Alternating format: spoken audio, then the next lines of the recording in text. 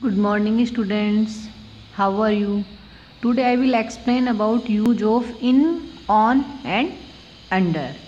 Use of in in का मतलब होता है मैं किस कोई भी चीज़ अगर किसी चीज़ के अंदर होती है तो हम वहाँ पे इन यूज़ करते हैं for example the mug is in the tub तो ये मग है वो टब में है the man is in the car जो ये मैन है आदमी है वो कार के अंदर है।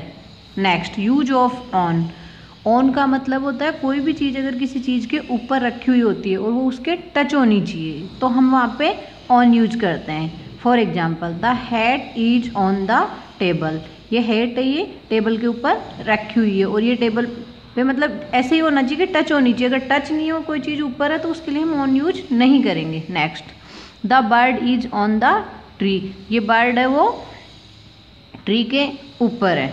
Next use of under under का यूज़ अंडर का यूज़ हम करते हैं जब कोई भी चीज़ किसी चीज़ के नीचे होती है। जैसे the bag is under the chair bag है वो चेयर के नीचे है। The boy is under the tree boy है वो ट्री के नीचे है। तो इस तरीके से हमें इन ऑन और अंडर का यूज़ करना है। तो आप लोगों को टेन सेंटेंस बनाने हैं। Thank you